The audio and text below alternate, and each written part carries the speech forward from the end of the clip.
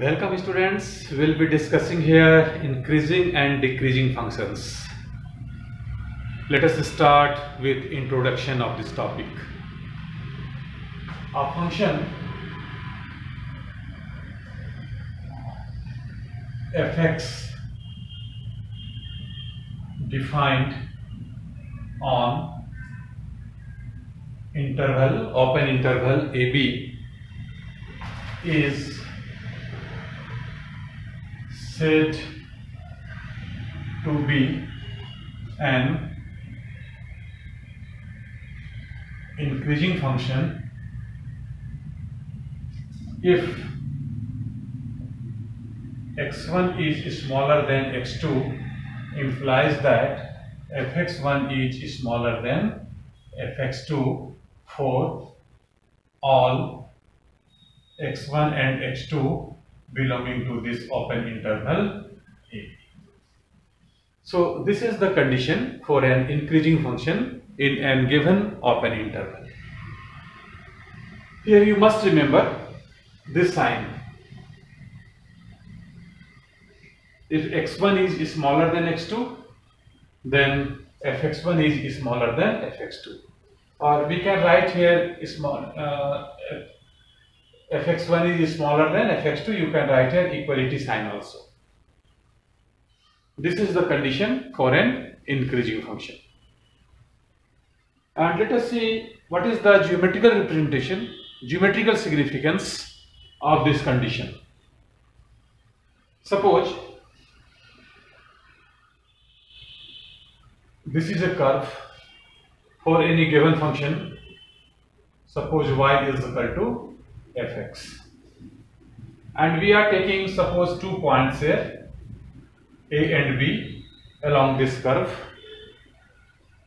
And if this distance is x1 and this distance is x2,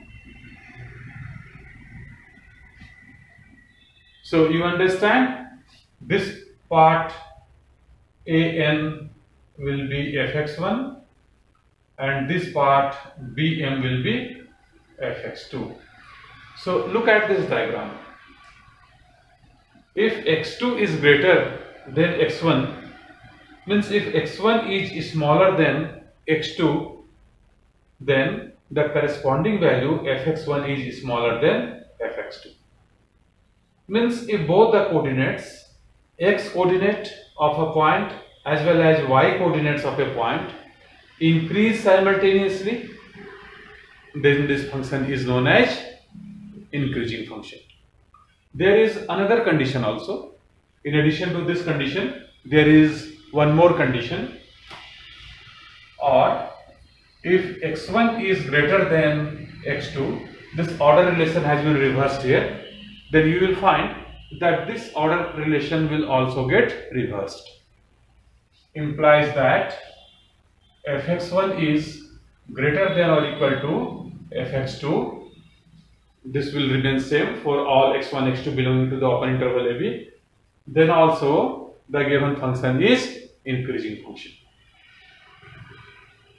So i think this is clear.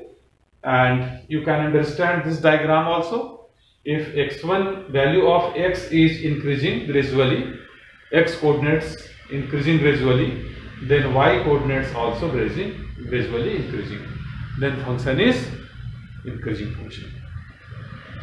There is increasing function which is known as strictly increasing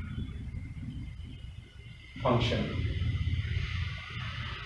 The difference is only here at this part. For increasing function this is less than or equal to greater than equal to. But for this case strictly increasing function this equality sign will not exist here. Only less than or greater than sign will be here. I mean if x1 is less than x2 implies that fx1 is less than fx2 or or if x1 is greater than x2 implies that fx1 is greater than fx2 you see equality sign is not here. In that case, this function is known as strictly increasing function. Now we will see decreasing function.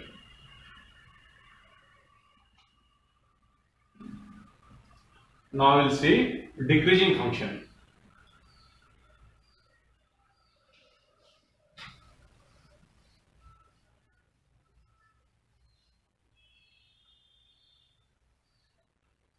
A function fx defined on open interval ab is said to be a decreasing function. This is said to be a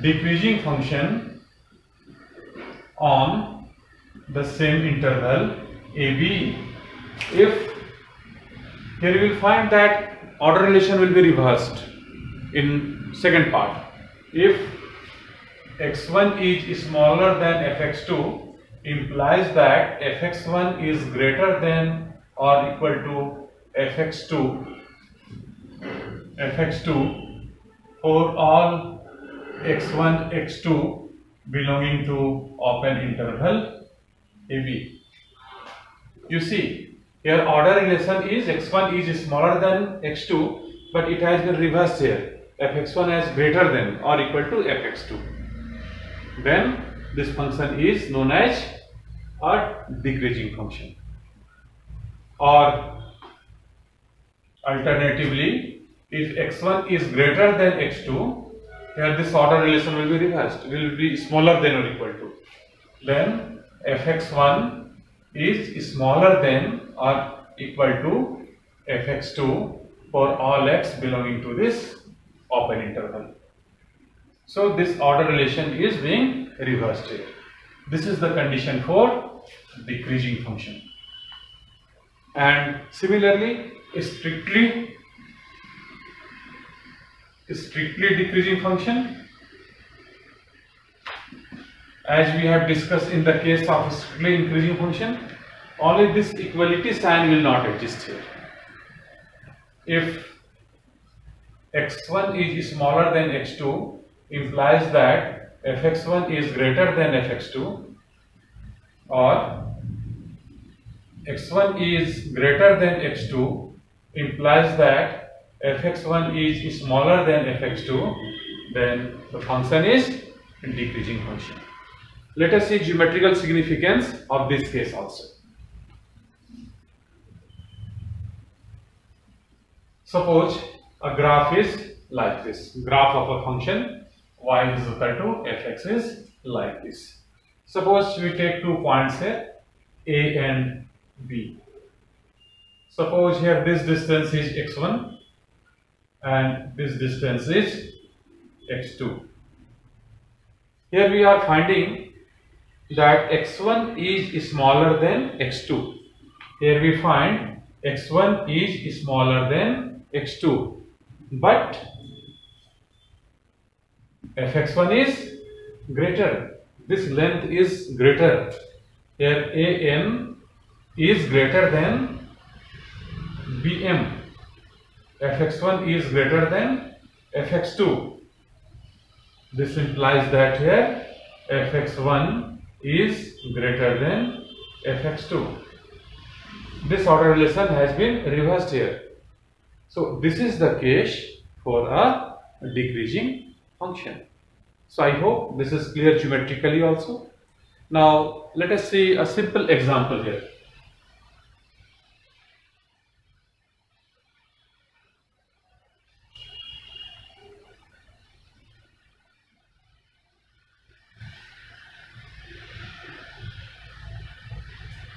Here, let us see an example. Let y be a function fx is equal to 5x plus 2 in interval real number. We have to here show that so that fx is an increasing function in this interval r So let x1, x2 belongs to this interval R and let us suppose that x1 is smaller than x2. x1, x2 both are real numbers. So therefore we can write 5 times of x1 will be smaller than 5 times of x2 and adding 2 both the sides and therefore 5x1 plus 2 this is smaller than 5x2 plus 2 adding to both the sides. And this is by this definition of function this is fx1 so therefore fx1 is smaller than fx2 you see we are getting this condition here. X1 is smaller than x2 implying here fx1 is smaller than fx2 in this interval r. So this is the condition for an increasing function. So it has been proved here that this given function is an increasing function in set of real numbers. So this is a simple example of exercise that we can understand very well how to prove that given function is an increasing function. Now we will see one theorem here.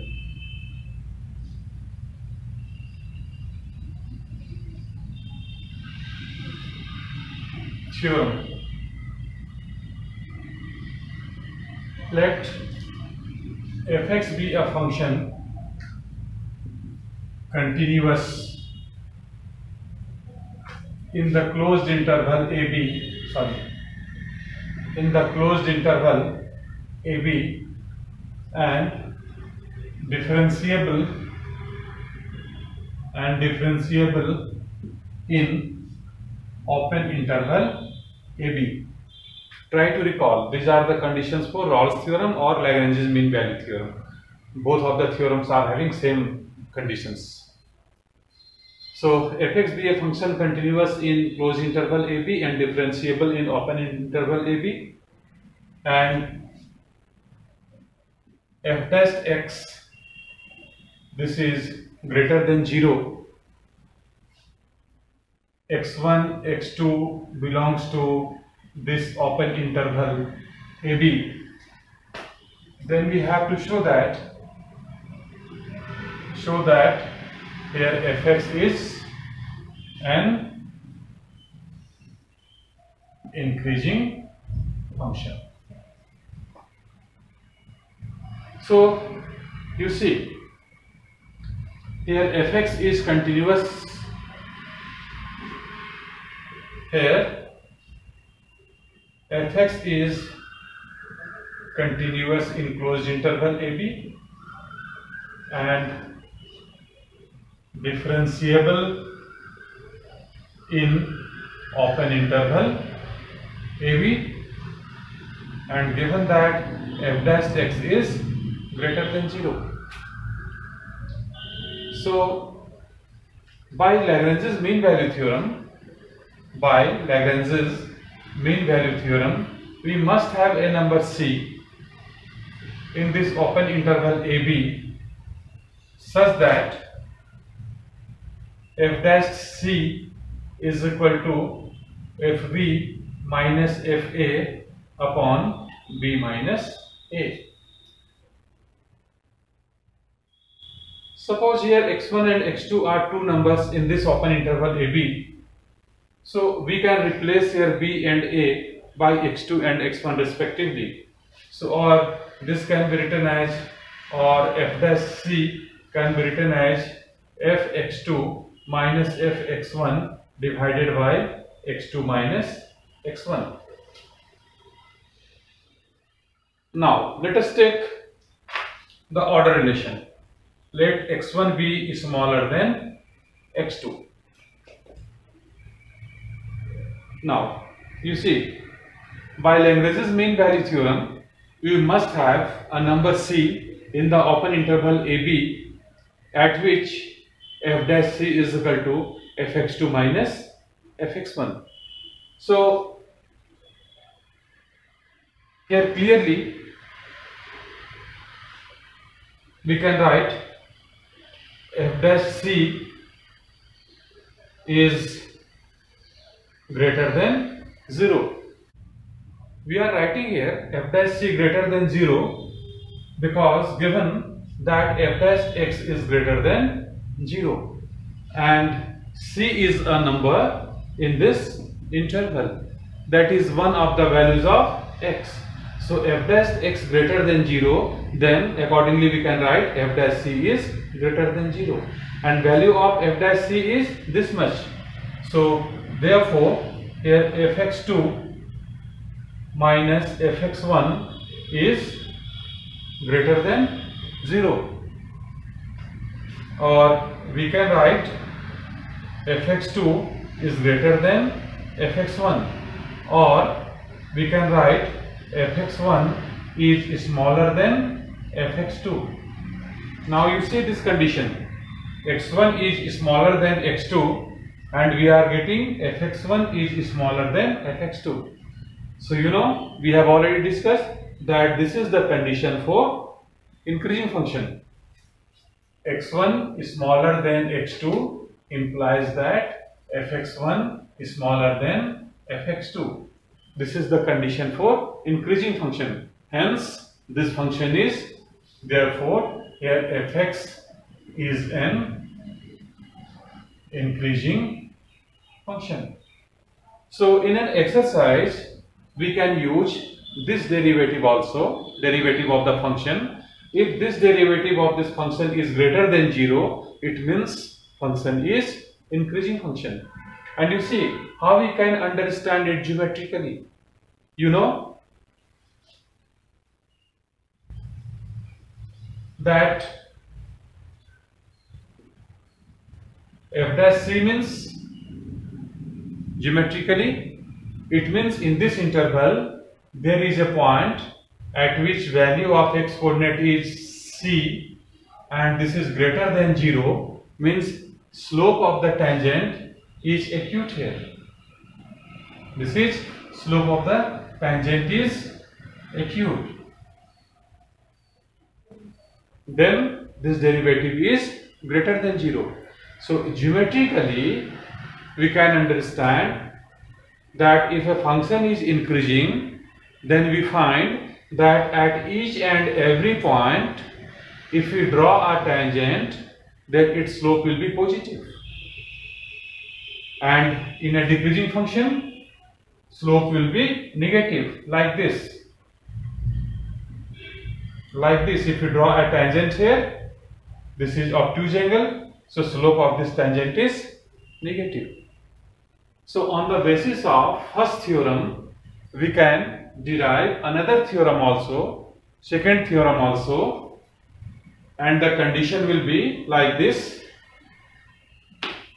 In theorem 2, we can derive that if f dash x, this is negative, this is less than 0, where x belongs to a given interval AB, then since derivative is negative less than 0 means slope of the tangent at any point is negative. This angle is obtuse angle and this is the case, this case takes place only when this is a decreasing function, this is a decreasing function. So, if f dash x is smaller than 0 in a given interval, then, then this function fx is a decreasing function. So, students, that's all about the introduction part of increasing and decreasing function and I hope that you understand it very well so please subscribe my channel Hi-Q Learning and share these videos with your friends also so that they could also get benefit from it. Thank you very much. In the next video, we will see some problems based on increasing and decreasing functions.